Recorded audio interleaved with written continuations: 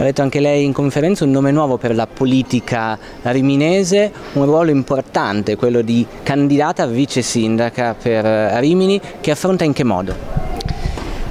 Eh, che affronto con eh, coraggio e determinazione eh, proprio perché in questi mesi eh, abbiamo fatto un lavoro eh, intorno alle politiche culturali per questa città, intorno alle politiche di genere con il gruppo Io sto con Emma e con Articolo 27,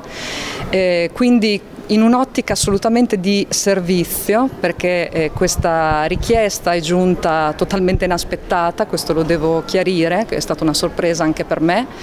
eh, una richiesta che mi onora profondamente ma che mi spaventa anche, quindi avrò bisogno del sostegno di tante persone, ma eh, so che insieme eh, possiamo affrontare questa nuova sfida di cambiamento perché alle spalle c'è un lavoro già fatto, c'è un gruppo che si arricchisce di giorno giorno in giorno, ci sono tante persone provenienti dalla società civile che eh, grazie a questi progetti, eh, appunto articolo 27 io sto con Emma, si sono avvicinati di nuovo alla politica, si sono avvicinati a questo progetto, eh, un progetto che è stato appoggiato a sua volta da Emma Petiti che ha creduto in noi e che ha lavorato con noi. E adesso attraverso questa scelta, eh, anche se vogliamo dolorosa perché noi abbiamo lottato eh, con convinzione per avere le primarie a Rimini e riteniamo che in questo sia forse anche una sconfitta, eh, però dal momento che eh, poi Emma ha fatto questo ehm, coraggioso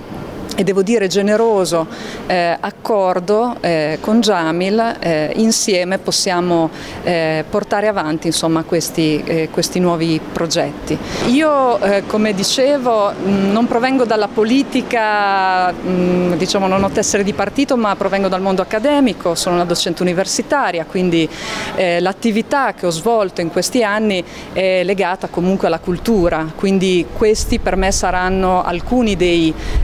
dei primi, ehm, diciamo dei primi punti in agenda, eh, la cultura, le politiche di genere, ma anche alcuni dei tanti punti che sono stati eh, stilati insieme da Jamil e da Emma nel documento che è stato presentato ieri sera all'Assemblea del PD e che è stato oggi presentato in conferenza stampa e che i cittadini avranno modo di leggere ed esaminare.